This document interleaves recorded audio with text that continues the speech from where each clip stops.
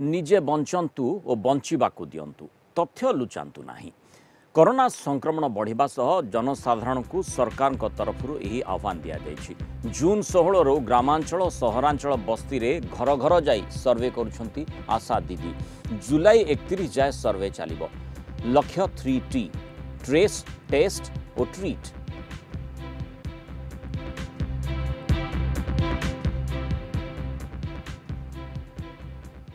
এই ଯୋଉ door to door campaign ରହିବ ଏଇ ଘର ଘର ଅଭିଯାନରେ ଆପଣମାନଙ୍କର ଗୋଟେ ବିଶେଷ ଦାୟିତ୍ୱ ରହିବ ସେଇ ଦାୟିତ୍ୱଟି ହେଲା ଲକ୍ଷଣ ଯଦି ଥାଏ ତାକୁ ଲୁଚାଇବେ ନାହିଁ। ନାଇଁ ନାଇଁ ମୋର କିଛି ହୋଇନାହିଁ ବା ଆମ ଘରେ ସମସ୍ତେ ଭଲ ଅଛନ୍ତି କହିଦେବେ ନାହିଁ ଆଶା ଦିଦିଙ୍କୁ। ଏବଂ ଆମେ ଆଉ ଗୋଟେ ଜିନିଷ ଲକ୍ଷ୍ୟ କରିଛୁ ଗୋଟେ ଅଧେ ଜାଗାରେ ଆଶା ଦିଦି ଆସିବା ଆଗରୁ ଜ୍ୱର ଥିବା ବେଳେ ଜଲ୍ଦି ଜଲ୍ଦି କେମିତି ପାରାସିଟାମଲ ପାଟିରେ ପକେଇ ଜ୍ୱର ଟିକେ କମିଯିବ ଆଉ ଆଶା ଦିଦି ଆସିଲେ ଯେତେବେଳେ ଥର୍ମାଲ ସ୍କ୍ରିନିଂ ପାଇଁ ଟେମ୍ପରେଚର ନେବେ ସେତେବେଳେ ଜଣାପଡ଼ିବ ଜ୍ୱର ନାହିଁ ବୋଲି। ଏପରି କାମ କରିବେ ନାହିଁ।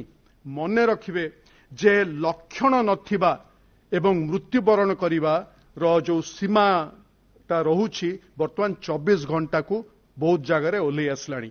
ତେଣୁ ଲକ୍ଷଣକୁ ବାହାରକୁ ଆଣିବେ ଏବଂ ନିଜେ ବଞ୍ଚିବେ ଅନ୍ୟମାନଙ୍କୁ ବଞ୍ଚାଇବେ।